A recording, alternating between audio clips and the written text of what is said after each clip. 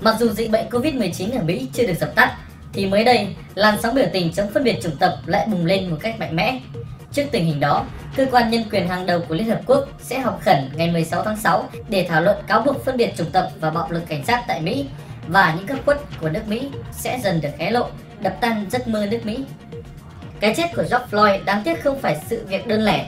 Số vụ người gốc Phi không vũ trang chịu chung số phận vì bạo lực của cảnh sát là quá nhiều. Phái đoàn Burkina Faso cho rằng sự giận dữ của cộng đồng quốc tế nhấn mạnh tầm quan trọng của việc thảo luận về các vấn đề tại nước Mỹ hiện nay.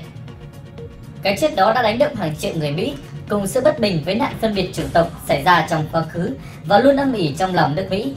Chính điều này đã dẫn đến các cuộc biểu tình đầu tiên tại thành phố Minneapolis và sau đó lan rộng khắp các thành phố của nước Mỹ. Tại thủ đô Washington DC, những người biểu tình đã đẩy đổ ra hàng rào chắn trước cửa Nhà Trắng, có hành động bạo lực và đụng độ với cảnh sát. Người biểu tình hô to khẩu hiệu tôi không thể thở mà chính ông Floyd đã cầu xin viên cảnh sát trước khi chết.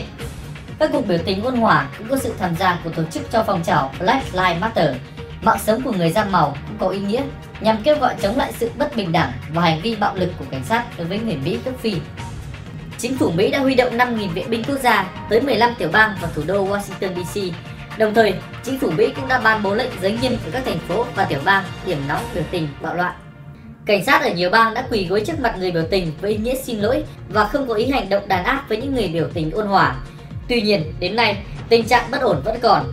Cái chết Floyd đã thực sự làm bùng lên sự phẫn nộ và làm cho Mỹ thêm chia rẽ về chính trị lẫn sắc tộc vốn dĩ đã tồn tại âm ỉ trong nhiều năm qua. Ngọn lửa âm ỉ khắp nơi không chỉ nổi dậy ở làn sóng biểu tình tại Mỹ về nạn phân biệt chủng tộc mà đã nhanh chóng lan rộng ra khắp các quốc gia trên thế giới.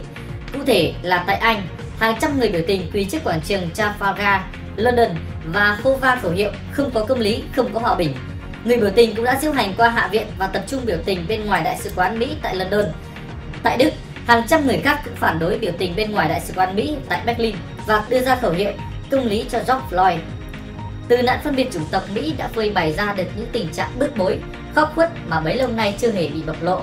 Với vỏ bọc cường quốc, giấc mơ Mỹ đã đánh tan lòng tin của nhiều nước trên thế giới và là cú đấm cho đám dân chủ luôn tung hô nhân quyền, dân quyền ở đất nước này.